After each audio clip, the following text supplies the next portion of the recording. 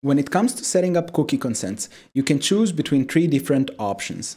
The first option is called an informational cookie message, and you can see how it looks right over here.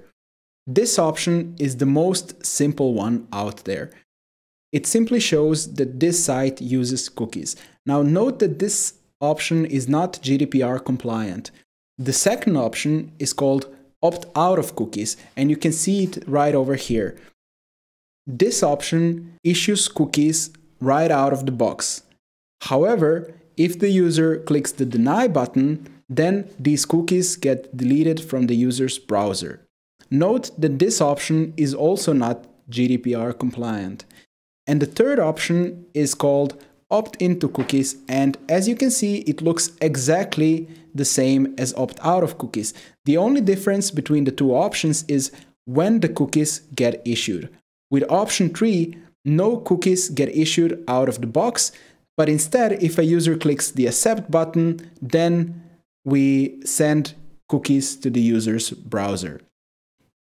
And note that this is the only option that's GDPR compliant. However, the downside of the third option is that statistics might not be 100% accurate since your analytics scripts won't be turned on unless a user accepts the cookies. Each one of these options can be designed any way you like. There are no design limitations whatsoever. You can add cat gifs, Lottie animations, interactions, whatever you like.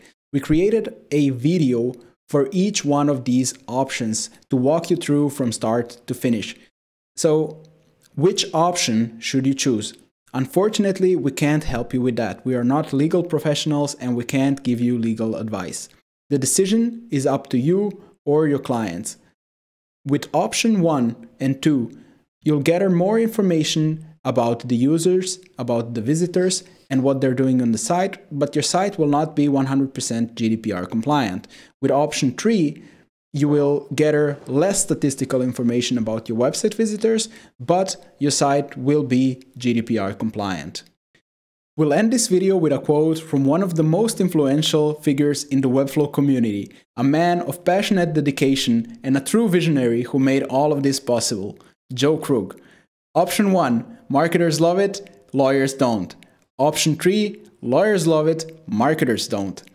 In the next video, you're going to learn how to set up the Finsweet cookie consent using our clonable. Cheers! Thanks for watching. Check out more Finsweet videos to keep learning Webflow.